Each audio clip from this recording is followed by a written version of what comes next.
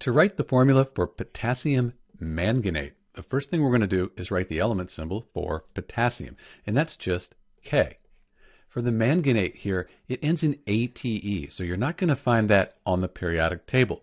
You either memorize that the manganate ion, that's MnO4, and the whole manganate ion has a charge of 2 minus, or if you're allowed, you look it up on a table of polyatomic ions.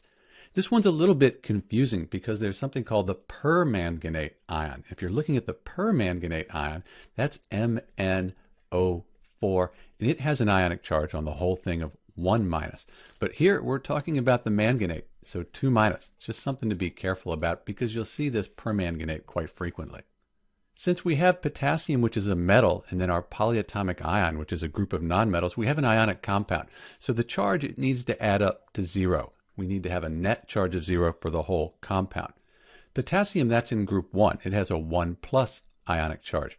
So we're going to need two potassium ions here to balance the two minus on the manganate ion.